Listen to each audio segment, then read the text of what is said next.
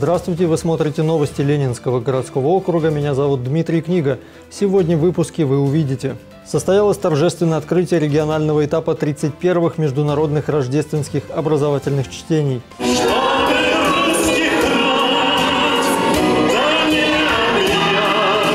Образовательный семинар «Настоящая подготовка к будущему» прошел в Видновской школе номер 7. Очень интересно, занимательно. Детям э, тоже очень понравилось, все были в восторге. Литературный конкурс «Моя Родина» в рамках фестиваля «Лови волну». Общее впечатление о э, творчестве э, участников конкурса очень хорошее.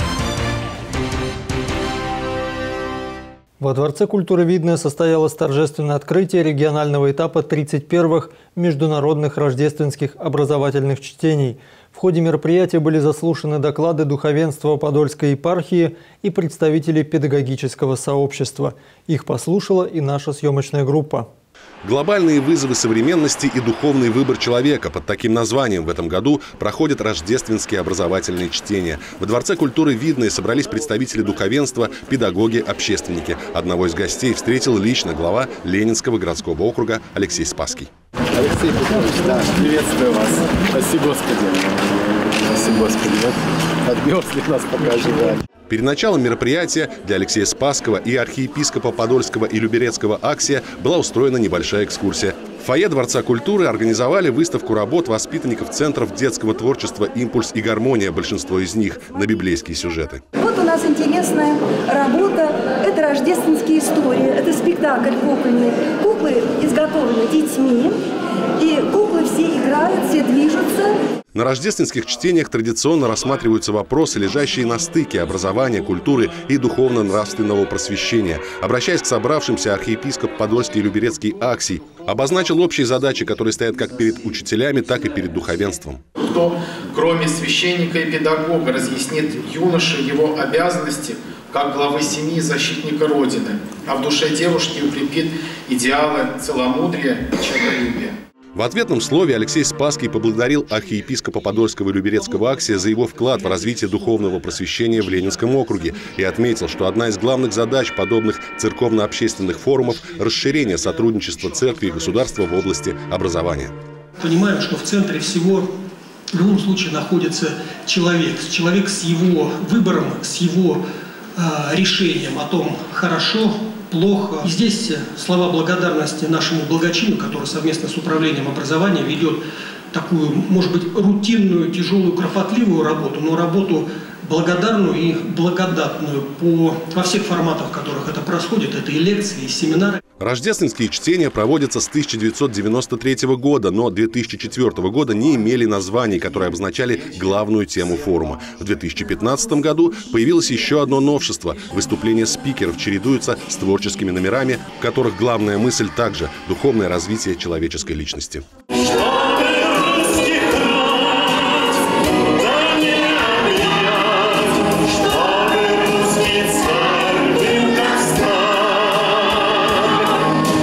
В ходе рождественских образовательных чтений были заслушаны доклады духовенства Подольской епархии и представителей педагогического сообщества. Все они с разных сторон освещали тему глобальных вызовов современности и духовного выбора человека.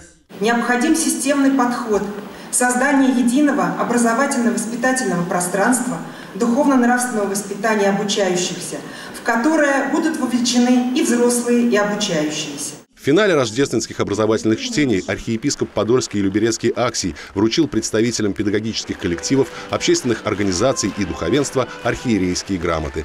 Это награды за плодотворное сотрудничество в деле духовно-нравственного воспитания подрастающего поколения. Максим Козлов, Александр Логинов, Елена Кошелева. Видное ТВ. Продолжается сбор помощи для участников специальной военной операции местных жителей Луганской и Донецкой народных республик. Очередной груз отправился из офиса территориального отдела «Видное», 6 микрорайон. Здесь все самое необходимое – продукты питания, чай, теплые вещи, средства гигиены. В сборе помощи для участников специальной военной операции местных жителей народных республик приняли активное участие предприниматели, муниципальные депутаты и местные жители. У нас есть одна жительница уже такого преклонного возраста, которая вяжет носки. Вот э, вся коробка, это связано ей. Есть какие-то такие, вот ее носочки, которые она вяжет. Но больше всего нас поразило, когда мы увидели, что в, свою, в каждую пару носок она вкладывает сгущенное молоко. Есть среди собранной помощи и специальное оборудование, которое может пригодиться в разведке и наблюдении. Это жители из э, деревни Пуговичина из поселка Горки Ленинские. А, сотрудники теротдела Горки Ленинские мы собрали деньги и купили два мини-квадрокоптера. И с горячим приветом, с победой мы отправляем нашим бойцам на спецоперацию. Ленинский городской округ собирает помощь на постоянной основе с марта этого года. Сбор ведется в девяти пунктах, расположенных на базе офисов территориальных отделов муниципалитета. Очень многие откликнулись. Это и торгово-промышленные палаты, и различные союзы, общественные организации, которые вот формируют грузы уже адресно, непосредственно исходя из перечня, который мы получаем от нашей 42-й дивизии. А, дивизия большая, это больше 10 тысяч человек. Вот этот вклад в нашу общую победу, это неоценимый вклад. Это действительно, потому что есть э, боевой вклад ребята, которые за ленточкой, а есть э, вклад тех ребят, которые в тылу помогают нашей общей победе. Это тоже труд, это тоже работа. Третью по счету партию гуманитарного конвоя планируют отправить 2 декабря, но подобная работа обязательно будет продолжена. Екатерина Борисова, Татьяна Брылова, Кирилл Иванов, Елена Кошлева. Видно ТВ.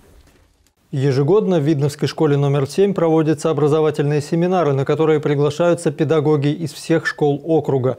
Последний под названием «Настоящая подготовка к будущему» состоялся на текущей неделе. Какие вопросы рассматривались на нем в нашем следующем сюжете? За годы обучения в школе мы получаем очень большой объем знаний. Но вот всегда ли можем применить их в жизни? Как помочь детям адаптироваться при переходе из детского сада в начальные классы? Могут ли родители дошколят стать полноправными участниками образовательного процесса?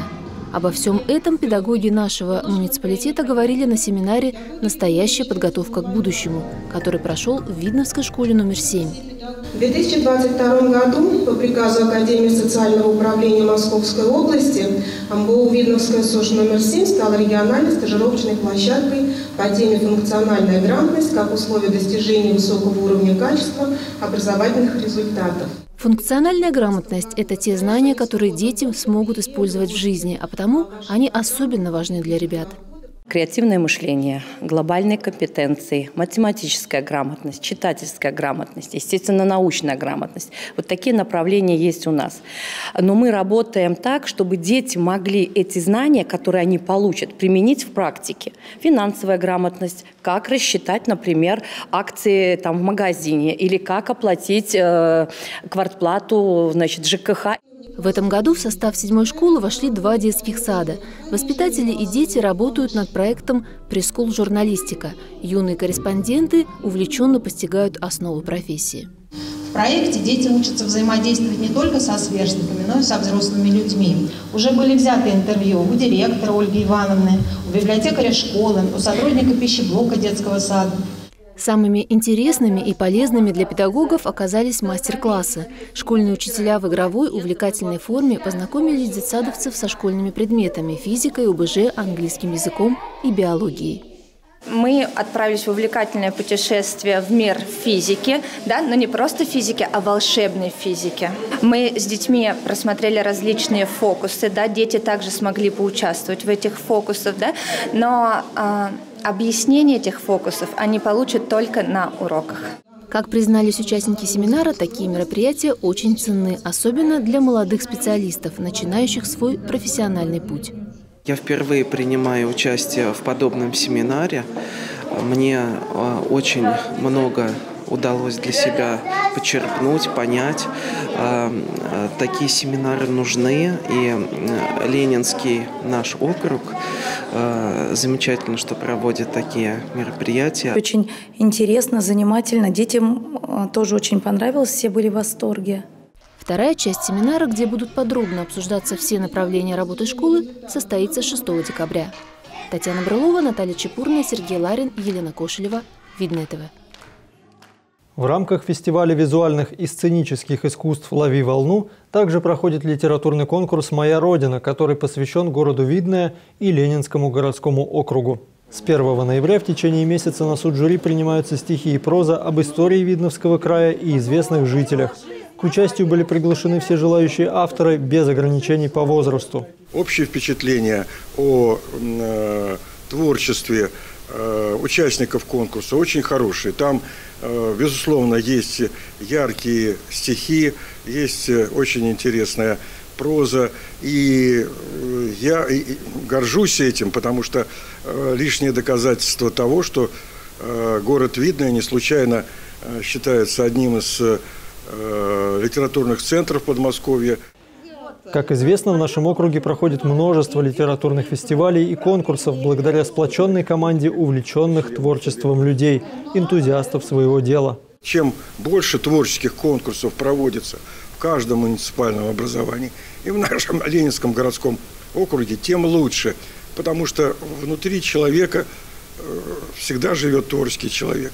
Всегда в нем есть потребность себя выразить. Подведение итогов конкурса состоится 10 декабря. Победители будут определены в каждой номинации и возрастной категории. На сегодня это все. Всего доброго и до свидания.